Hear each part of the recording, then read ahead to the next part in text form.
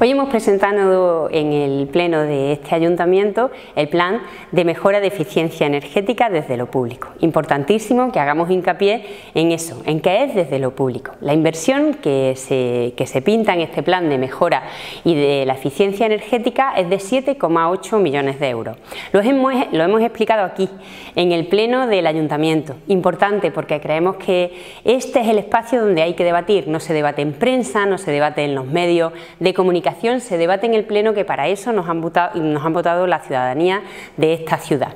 Y lo hacemos con la presencia de todos los partidos políticos y de frente, explicando pasito a pasito de qué se trataba. Esos 7,8 millones de euros que proponemos producen en, eh, un ahorro de 3 millones de euros en total cuando lo terminemos.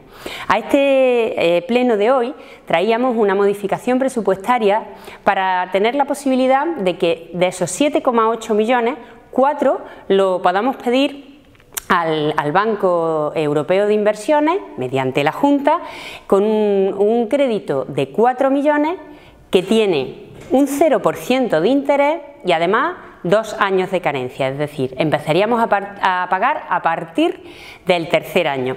Y no solo eso, con esos 4 millones lo que hacemos es cambiar 9.320 luminarias con sus correspondientes cuadros de mando y lo que producen un ahorro directo a este ayuntamiento de 900.000 euros, con lo cual amortizamos directamente ese crédito en cuatro eh, años y medio aproximadamente. El resto será todo beneficio para las arcas municipales, para poderlo dedicar no solo al plan de eficiencia energética, que evidentemente no es el único plan de ciudad, sino eh, dedicarlo pues, al rescate de las personas, a, darle, eh, a darles empleo, a lo que realmente también es la otra pata que importa en esta ciudad. Nuestro modelo es una ciudad sostenible y una ciudad que pone en el centro a las personas, una política que pone en el centro a las personas. En contraposición al plan de eficiencia energética que hemos presentado hoy desde lo público en el consistorio de este ayuntamiento, en el pleno municipal, el PP lo que pretendía era eh, un plan de eficiencia energética que daba el servicio, eh, regalaba el servicio a una empresa de, servicios energéticos. Eh, esa empresa se comprometía, según el plan que habían pintado, a invertir 24 millones de euros y este ayuntamiento, es decir, los vecinos y las vecinas de esta ciudad, le pagábamos a esa empresa 5,2 millones de euros todos los años durante 14.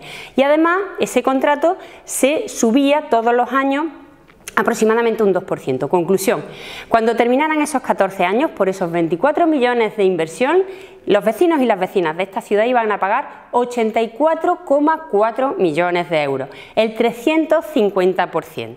Y, sin embargo, lo que, eh, lo que hemos presentado hoy, este equipo eh, de gobierno municipal, es que lo único que vamos a pedir externamente son esos 4 millones de euros que, por los que pagamos nada, porque es a 0% de interés.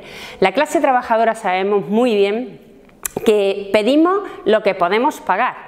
Y no solo eso, si además eh, lo que pedimos nos genera un ahorro en nuestras cuentas, pues lógicamente somos como hormiguitas y sabemos administrar muy, muy bien nuestro dinero. Y desde luego lo que no hacemos nunca es favorecer al sector privado frente al sector público.